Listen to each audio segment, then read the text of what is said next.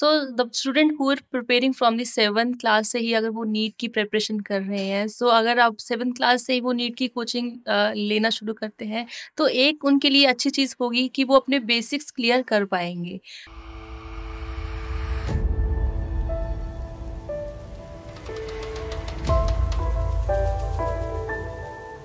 Hello everyone and welcome to our talk show. I am Vanna, your host from Toppers Academy and we are going to start a foundation batch for class 7 to 12th students who are preparing for NEET or IIT. So students are facing some problems regarding their preparation.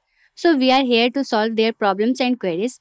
Today we have a very special guest Miss Nisha ma'am who is also a bio faculty at Toppers Academy. Welcome to our talk show ma'am. Thank you ma'am. You invited me on the show. So ma'am students जो है, बहुत सारे question आ रहे हैं, उनके दिमाग में जैसे प्रिपरेशन हम बैच स्टार्ट कर रहे हैं सेकेंड ऑफ़ अप्रैल से। तो स्टूडेंट्स के जो क्वेश्चन आ रहे हैं, वो ये है कि कैसे, क्या स्ट्रैटेजी रहेगी सेवन्थ क्लास से जो प्रिपरेशन स्टार्ट करेंगे उनके लिए? क्या स्ट्रैटेजी रहेगी जिससे कि वो नीट जो है, वो वन टाइम में अटैम्प्ट मतलब क्लियर कर सके? So the student who are preparing from the seven class से ही अगर वो नीट की प्रिपरेशन कर रहे हैं सो so अगर आप सेवन क्लास से ही वो नीट की कोचिंग लेना शुरू करते हैं तो एक उनके लिए अच्छी चीज़ होगी कि वो अपने बेसिक्स क्लियर कर पाएँगे।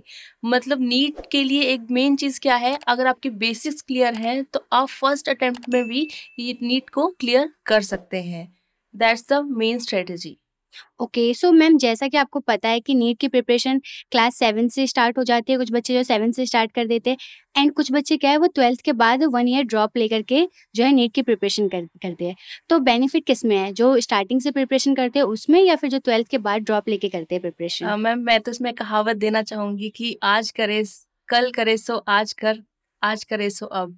सो अगर बच्चे आज से ही प्रिपरेशन शुरू कर देंगे, अगर वो थोड़ा बहुत नीट के लिए पढ़ना शुरू कर देंगे, अगर सेवन क्लास का बच्चा है तो वो लिमिटेड रहता है बुक्स के लिए।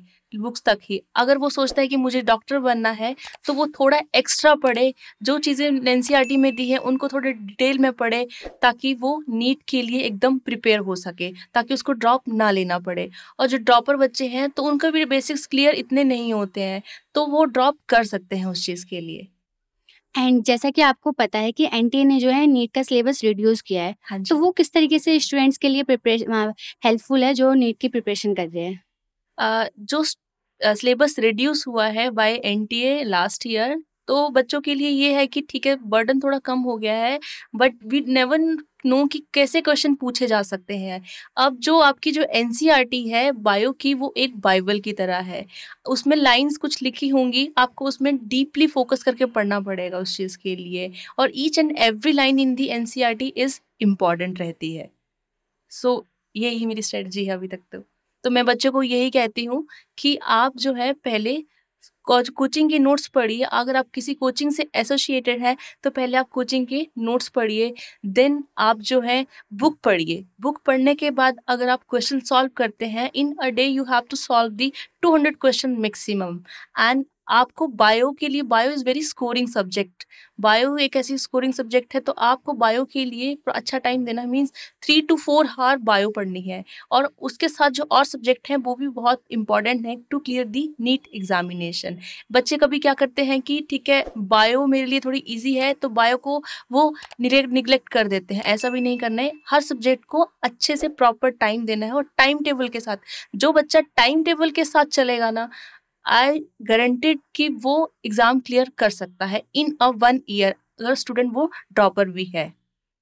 ओके सो मैम जैसा कि आपने बताया कि बायो जो है स्कोरिंग सब्जेक्ट है नीट में सो so, बच्चे को जो भी प्रिपरेशन कर रहे हैं नीट की उनको बायो में कितना टाइम देना चाहिए कि वो आराम से नीट जो है नीट में स्कोर कर सके? एक सब्जेक्ट को। अगर बच्चा कोचिंग भी ले रहा है साथ में तो कोचिंग के साथ साथ अगर वो घर जाके भी पढ़े उस सब चीज़ को, उस सब्जेक्ट को जो क्लास में पढ़ाया गया है, अगर वो एक दो घंटा भी देगा उस चीज़ के लिए और क्वेश्चन सॉल्व करेगा साथ साथ में तो आई थिंक कि अगर वो क्रैश ले रहा है या वो ड्रॉप कर रहा है या वो आफ्टर कि वो सेवन क्लास से ही कोचिंग ले रहा है सो आई अश्योर कि वो क्लियर कर सकता है नीट को। तो बेसिकली जो बच्चे क्लास सेवन से स्टार्ट कर देते हैं प्रिपरेशन प्री फाउंडेशन कोर्स जो स्टार्ट करते हैं तो उन्हें क्या ड्रॉप लेने की ज़रूरत पड़ती है या नहीं पड़ती उन्हें? Ma'am it depends on the student to student अगर किसी बच्चे के डाउट्स जो है बेसिक्स बहुत क्लियर है तो आई थिंक कि वो फ़र्स्ट अटेम्प्ट में क्लियर कर सकता है। बहुत बहुत रेयर स्टूडेंट्स होते हैं जो फ़र्स्ट अटेम्प्ट में नीट क्लियर करते हैं। मोस्टली बच्चे आजकल क्या करते हैं कि वो ड्रॉप लेते हैं ताकि, क्यों ड्रॉप लेते हैं? क्योंकि उनके कंसेप्ट जो है बेसिक में क्लियर नहीं होते। आइधर वो कोचिंग से कोचिंग से क्या है, वो एसोसिएटेड नहीं होते, वो लिमिटेड बुक्स तक ही रहते हैं। तो इसलिए बच्चे सोचते हैं कि ट्वेल्थ तक तो कर लिया मैंने ट्वेल्थ के बाद देखूँगा। अगर बच्चे ने पहले से फोकस बना के रखा है कि मुझे नीट क्लियर करना है, मुझे डॉक्टर बनना है तो वो वाला बच्चा क्या करेगा? वो अपना टाइम ज़्यादा स्टडीज़ पे फोकस करेगा और अपने बेसिस को क्लियर करने के लिए ज़्यादा टाइम देगा। एंड मैम जो बच्चे नीट की प्रिपरेशन कर रहे हैं उनके लिए मोस्टली मतलब मतलब ज़्यादातर बच्चे परेशान होते हैं नीट बायो में जो है दो आते subjects like zoology and botany so दोनों में क्या सब मतलब बेनिफिट्स है कि किस पे ज़्यादा फोकस करें बॉटनी पे या जोलॉजी पे? मैम मैं तो कहूँगी दोनों पे फोकस करना चाहिए। आई टोल्ड यू कि बॉटनी एंड जुआलॉजी दोनों ही इंपॉर्टेंट है, दोनों के लिए ही 180 180 दोनों का ही सब्जेक्ट में आता है, ठीक है? 360 मार्क्स का टोटल पेपर आता है। अगर आप बॉटनी को निगलेक्ट कर दोगे तो जुअलजी रह जाएगी। अगर आप जुअलजी को निगलेक्ट कर दोगे तो बॉटनी रह जाएगी। इवन दो जुअलजी जो है बच्चे ज़्यादा अपने से रिलेट कर पाते हैं ऑल दो बॉटनी थोड़ा बच्चों के लिए थोड़ा हार्ड रहता है कि हम प्लांट्स को कैसे रिलेट कर पाए। बट अब नीट है नीट में तो दोनों ही आएगा बॉटनी भी as well as this zoology तो हमें दोनों पे फोकस करके चलना है। एंड मैम जो प्रिपरेशन कर रहे हैं उनके लिए ज़्यादा फैसिलिटी ज़्यादा बेनिफिट कौन सा कोचिंग रहेगी? लाइक ऑफलाइन कोचिंग ज़्यादा ज़्यादा बेनिफिट रहेगी या फिर ऑनलाइन कोचिंग मैम uh, अभी हम कोरोना के बाद ज़्यादा हम ऑनलाइन पे ही फोकस करते हैं वैसे। बट मैं मतलब मेरा पर्सनल एक्सपीरियंस है अगर बच्चा लोकल है यहाँ का तो वो उसको ऑफलाइन लेनी चाहिए। अगर बच्चा कहीं दूर से है साउथ साइड से है या आउट ऑफ़ कंट्री है सो वो ऑनलाइन ले सकता है। अगर उसको कोई डाउट्स है सो वो टीचर के साथ जो है वो डाउट सेशन अलग से ले सकता है, जो हमारे कोचिंग इंस्टीट्यूट में करवाया जाता है।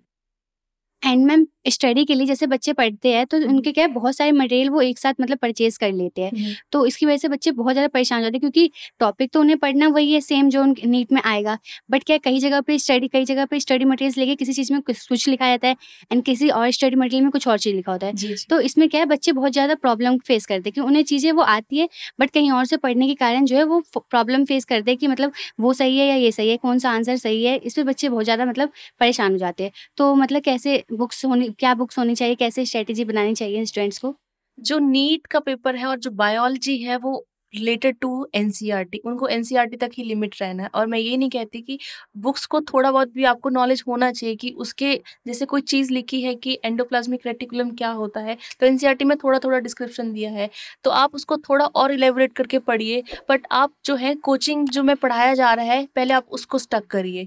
उसके बाद जो है आप बुक्स पढ़िए। जो आपकी नियर नियर की बुक है एनसीईआरटी की बुक है, आप वो पढ़िए। आप बहुत ज़्यादा बुक्स पढ़ेंगे यहाँ वहाँ से तो आप कंफ्यूज हो जाएँगे उस चीज़ के लिए। एक नॉर्मल सी बात है कि आप हर जगह हर जगह जाओगे तो फिर पॉसिबल नहीं हो पाएगा।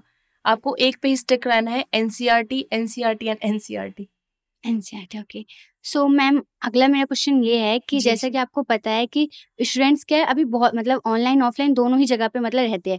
कुछ बच्चे क्या ऑफलाइन भी कोचिंग लेते हैं एंड कुछ बच्चे ऑनलाइन भी कोचिंग लेते हैं। तो उस पर मतलब बच्चों को क्या करना चाहिए? क्योंकि दोनों जगह अगर बच्चे रहते हैं तो दोनों जगह पे एक सिंपल सी बात है कि एक नाव पे सवार रहोगे तो ही ज़्यादा बेनिफिट रहेगा। बट दोनों जगह पे जाते हैं मतलब कई क्लासेस वो ऑनलाइन लेते हैं कई क्लासेस वो ऑफलाइन तो ज़्यादा बेनिफिट किसमें रहेगा? ऑनलाइन में और वो तो बच्चे पे डिपेंड करता है कि उसको कौन से टीचर्स का समझ आ रहा है क्योंकि हर बच्चे को हर टीचर का समझ नहीं आता है तो वो उसकी पर्सनल चॉइस रहती है।